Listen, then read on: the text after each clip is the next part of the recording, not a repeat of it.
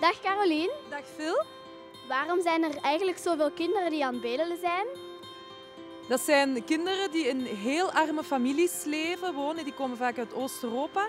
En die kinderen komen hier bedelen met hun ouders.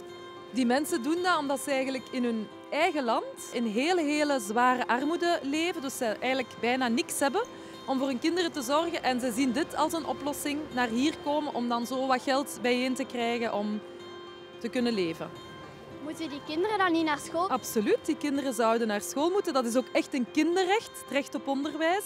Dus vanuit het kinderrechtencommissariaat zeggen wij ook vooral daarom, kinderen mogen eigenlijk niet bedelen. Kinderen moeten de kans hebben om naar school te gaan. Mogen wij die kinderen dan iets geven of niet? Dat is een moeilijke vraag. Ik denk dat iedereen dat voor zichzelf moet uitmaken. Hè. Maar uh, er zijn veel organisaties die zeggen dat je dat beter niet doet, omdat je zo het bedelen eigenlijk ja, versterkt. Hè, omdat als mensen daar dan effectief geld voor krijgen, dat dat misschien gaan blijven doen of er misschien nog meer mensen gaan komen bedelen. En dat dat eigenlijk echt niet goed is voor die kinderen. En wat moet er nu gebeuren met die bedelende kinderen? Ik denk dat, wij, dat ons land ervoor moet zorgen dat dat stopt. Dat die kinderen niet meer op straat moeten zijn om te bedelen. En dat we eigenlijk die gaan praten met die gezinnen, met die ouders. Om, om met hen na te denken welke andere oplossingen er eventueel mogelijk zijn. En dat die kinderen in de warmte kunnen uh, zitten en niet op straat in de kou.